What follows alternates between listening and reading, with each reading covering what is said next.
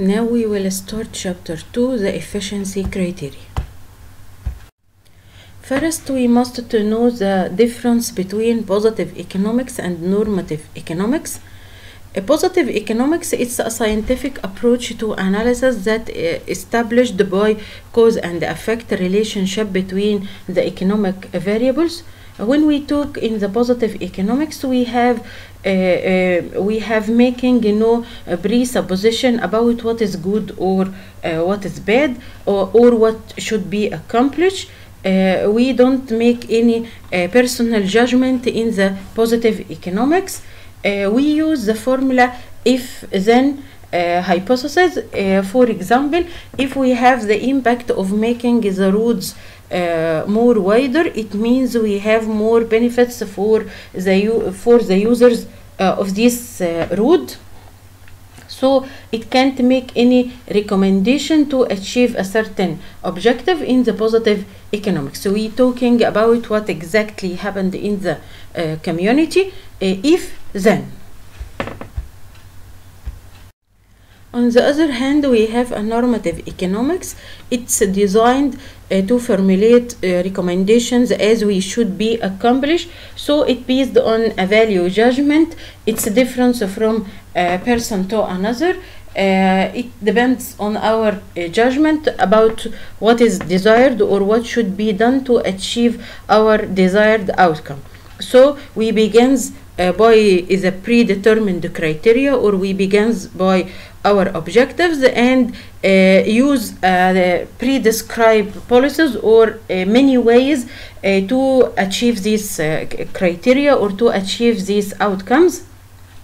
So it's not objective and it's useful to a positive approach in that defines relative issues uh, for example, if the government wants to support housing for the poor people or the poor families, uh, if uh, we use a positive analysis, we will support them by the public housing programs. In the normative economics, we might prefer to making a rent control legislations to keep the rents low. So we have many ways to achieve our criteria. Uh, according to our judgment, we can predetermine which uh, uh, policy is preferred to achieve these criteria. The efficiency criteria it's a normative criteria for evaluating effects of using the resources on the individual's well-being. So the efficiency criteria is satisfied when resources are used in such a way to make it impossible to have a more increasing in the well-being of anyone without reducing the well-being of the another one. It means we use our resources in the optimal way so it means we producing a desired result or a desired output without minimize with minimizing the effort or uh, the expenses or minimizing the wasting efforts. When we minimize our wasted in resources or in efforts we have the maximum output from uh, using these resources we will be in the efficient point. If we can increase the well-being of someone without increasing without reducing the well-being of another one it's not the efficient point. Marginal conditions for efficiency uh, analysis of the benefits and the costs of making additional amount of a good available or addition, additional unit of a good available is required to determine whether the existing, the existing allocation of resources to its production is efficient. Uh, we can use the total social benefit or TSB and the marginal social benefit the total social benefit it's any given quantity of economic good available uh, in a certain period of time will provide satisfaction to those who will consume it.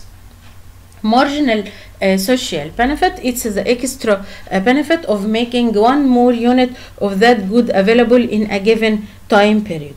We can calculate marginal uh, social benefit or MSB uh, by delta uh, TSB divided by delta Q. With benefits, we have also the costs. So we have the total social cost and the marginal social cost.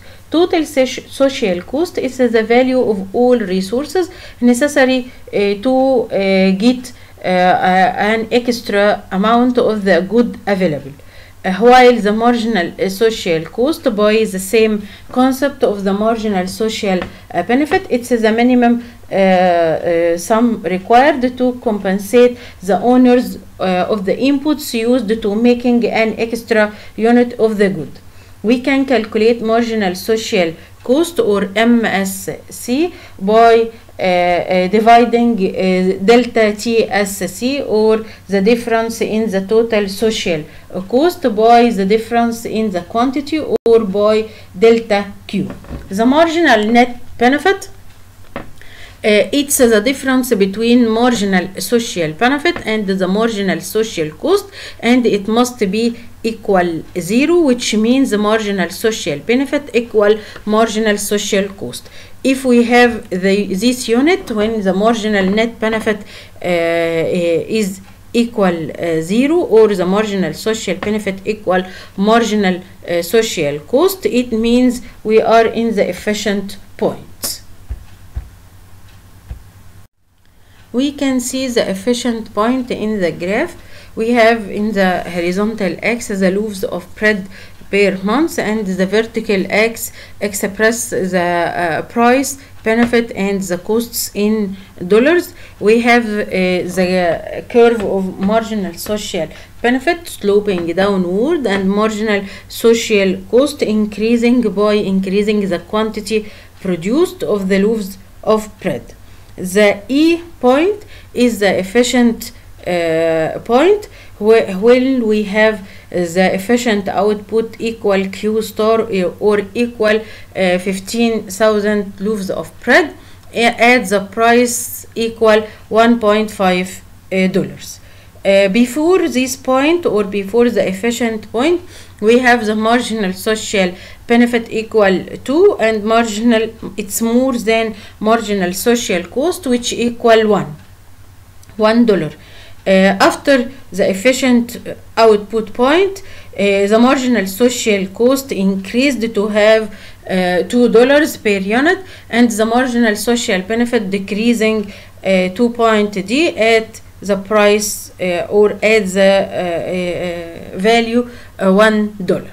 So the efficient point or the optimal point when the price is 0.5 and the quantity is q star at e point we can get the efficient output uh, also by using total social cost and total social benefit curves uh, we have a Q star or the efficient output when the difference between total social benefit and total social cost is the highest difference between them.